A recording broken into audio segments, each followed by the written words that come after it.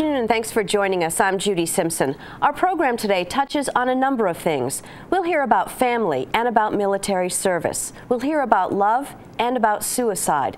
Most of all, we'll hear about courage, compassion, and hope. We will hear all these things because of this young man in the picture. Josh Pallotta of Colchester joined the Vermont National Guard in 2009 and was deployed to Afghanistan. In 2014, Josh succumbed to post-traumatic stress and traumatic brain injuries he suffered while proudly serving his country. Josh was 25 when he took his own life. Since Josh's death, family, veterans, and community members have established the Josh Pallotta Fund with the goal of ending veteran suicide.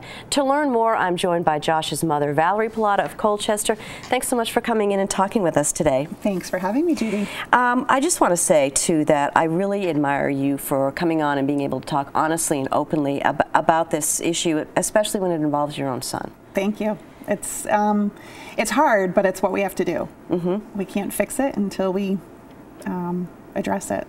So Josh uh, always wanted to serve his country. He did. I remember when he was probably about seven years old, I found a, a note that he had written that said, I'm going to be a soldier. And ever since then, he wanted to join. Mm -hmm. Yeah. So from the moment Josh joined the Guard, you were finding ways as a parent to also help support him and his, his fellow um, Guard members. I was. Actually, I, um, I was pretty scared when he said he was joining the Guard and, you know, proud, but, but mm -hmm. very scared. Of course. Yeah, so I contacted the Guard and I said, you know, what can I do for support? What is there out there? And um, the family programs directed me to the Parent Network that they had. And that was an organization that offered support for um, families, parents of all branches branches of the military, not just the National Guard. Mm -hmm. So I started attending those meetings and from there met other moms and dads whose children were being deployed or had been deployed. Um, and from that, we wanted to do something to give back. We, um, being helicopter moms, as, as I kind of was, mm -hmm. um, I just wanted to do something to help our group of men who were in Josh's unit who were coming back. We wanted to set things up before they got home so they would have some support services. So we did a lot of research and found Blue Star Mothers of America, which is a nonprofit veteran service organization that has been around since World War II. Mm -hmm. um, so we chartered our first Vermont chapter here in 2011, um, and that's been going really strong since then. And what we've decided to do is focus on financial support for veterans, um, emergency financial support, mm -hmm. and honoring our um, fallen soldiers' families, um, things like that. So. From what you know, what happened during Josh's deployment that impacted his health and well-being? A lot of, so Josh was pretty young. He turned 21 when he was over in Afghanistan, and he had never seen, like a lot of, of our course, young right. soldiers have never seen um, the likes of what happens on deployment. And he was in a pretty dangerous place. Um, it was outpost, uh, combat outpost Herrera, and there were only 100, 100 um, soldiers there, and it was right along the Pakistani border. And on August 11th, two of the soldiers who were in their unit were killed, um, Tristan Southworth and Stephen DeLuzio. And that really impacted them pretty hard. Um, and I think that was pretty instrumental in Josh's healing when he came home. It just was something that he just couldn't get through. Mm -hmm. He had never really known loss before. Right. And so you've learned firsthand about post-traumatic stress, not only from your son, but from his fellow servicemen. What do they say about it?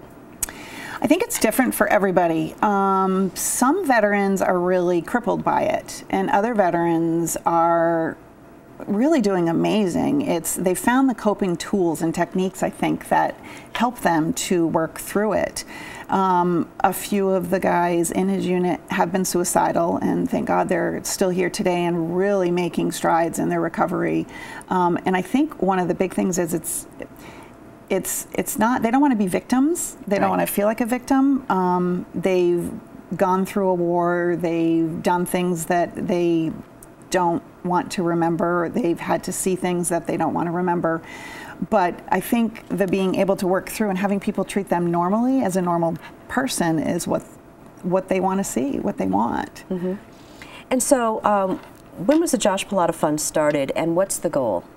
So we started it after Josh died, when he ended his life in 2014. Because of my involvement with Blue Star Mothers, we had started receiving a lot of donations. People just wanted to help, mm-hmm. and they didn't know how, so they just started to donate money.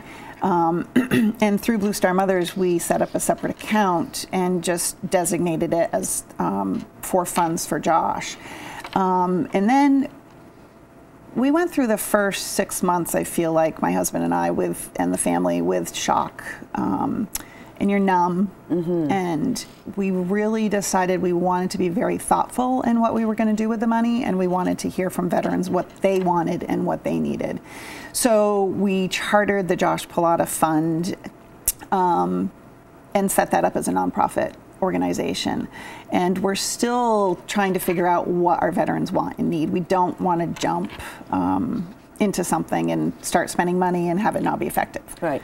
So you're considering a facility. We are. Mm-hmm. So when we talk to veterans, specifically veterans who were with Josh's unit, because they're closest to him and he was the one who ended his life, and I wanted to touch them first.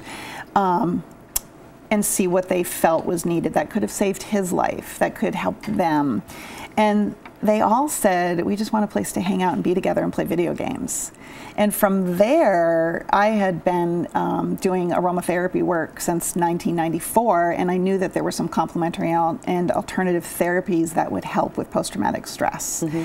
and depression and things like that. So we decided we wanted to develop a facility that was a combination of a wellness and recreation center that would combine the complementary therapies and massage and chiropractic and yoga and meditation, these things that have been shown to be effective for veterans um, or anybody with post traumatic stress and depression and then combine it with a recreation center, having a game room and a video room and a place for studying and peer to peer counseling.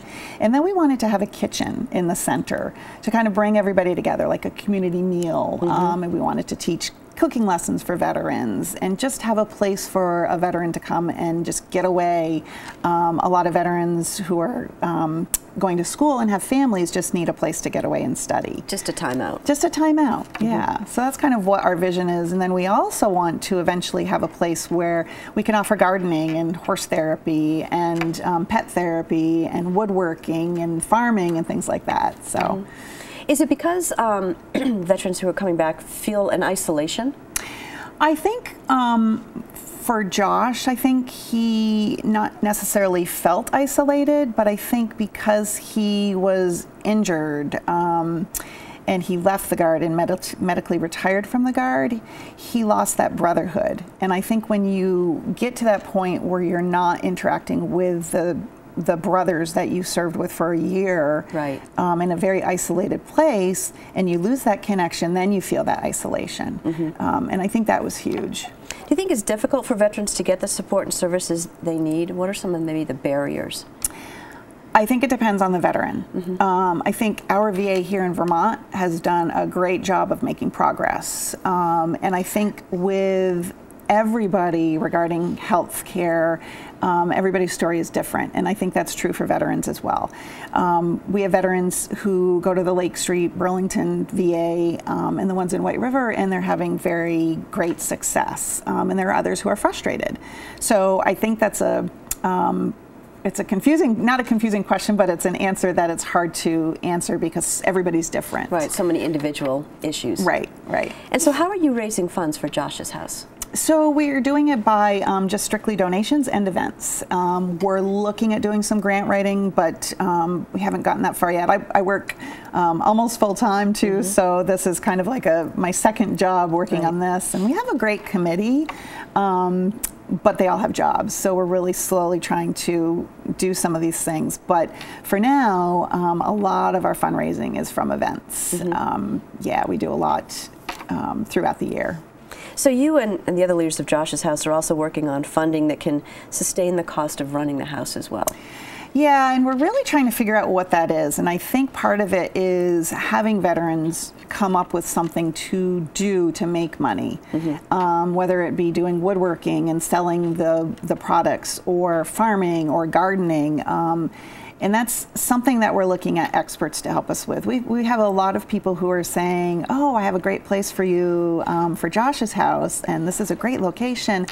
but we only have about $171,000 right now, and I think we need about a million to sustain it. So we're looking at ways to sustain the income and pay for it and let it support itself. Because that's really important to you that it's going to be an ongoing concern. Uh, yeah, absolutely. And I don't want veterans to have to pay for it. I mean, we have thought about maybe doing a membership program if veterans can afford it. Maybe they have dues that they pay. Mm-hmm. Um, but yeah, that's the that's the biggest concern for me. So, are there any upcoming events for fundraising?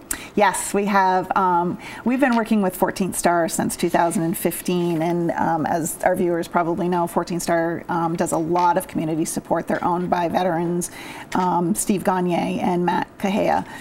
and um, they have been doing a commemorative beer label launch for mm-hmm. us every year. So we have the the fourth, let's see, 15, 16, 17, 18, fourth annual coming up on April 7th. Um, so we release a new can design that always has a picture of Josh on it, and they're pretty amazing. Mm-hmm. And then we have our annual hockey tournament on May 12th, I believe, at Cairns Arena in South Burlington. And um, we're hoping to have some former NHL players playing in that tournament. So, uh, yeah, I can't say yet because we haven't been given a full commitment, but that's always a fun event. Um, and then we're looking for a barbecue barbecue type cook off in the summer, um, and then we usually do something in September around suicide prevention. And Josh's um, date was September 23rd that mm-hmm.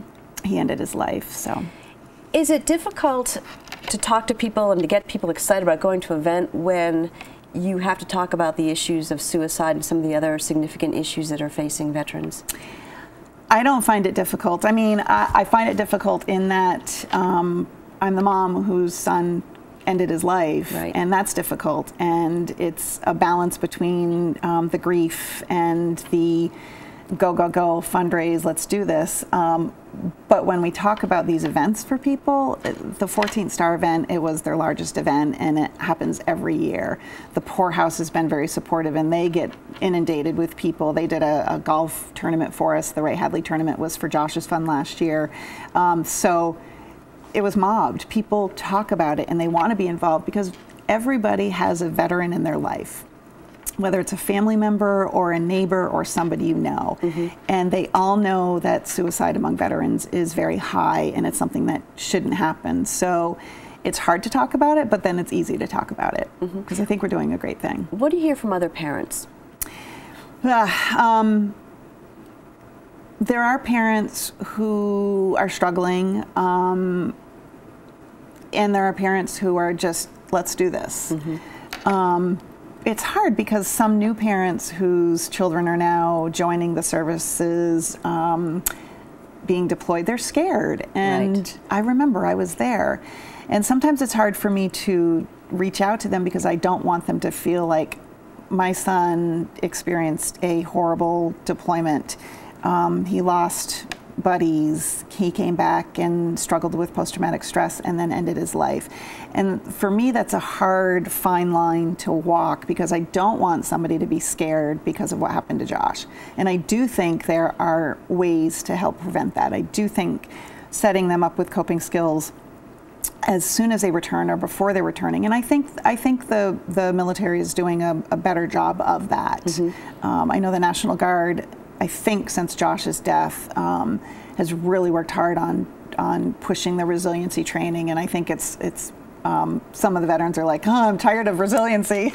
Yeah. so I think they're learning from this, and I think they're making things happen. So I think parents, if they get involved and they talk to other parents, I think that's the best now, you have a website too that has a lot of information. Maybe you could tell folks how they can find that. We do, sure. It's um, joshpallottafund.org. Um, it's if you just Google, it's J O S H P A L L O T T A mm-hmm. dot org, and we have a lot of information on the website. Um, our contact info is on there, our mailing address. Um, we have a survey out now. We're trying to gather information on what veterans want and need. So if you're a veteran and you haven't completed the survey, please do it to help us out so we can figure out how we can support you. Mm-hmm. We've got about a minute left. Anything you want to leave us with, a thought? I think um, I think it's important not, like I said before, not to treat a veteran who has post-traumatic stress as a victim. I think that's huge. Um, I think they don't want you to feel sorry for them, and I think it's one thing to say I support the troops, I support the troops, but get involved and find a way, whether it be veterans with post-traumatic stress or care packages, just get involved. It's not, it doesn't take a lot of time. Mm-hmm. And the main thing I think is be compassionate. Thank you so much for joining us today. Thanks for having me, Judy. That's our program for today. I'm Judy Simpson. I'll see you again next time on Across the Fence.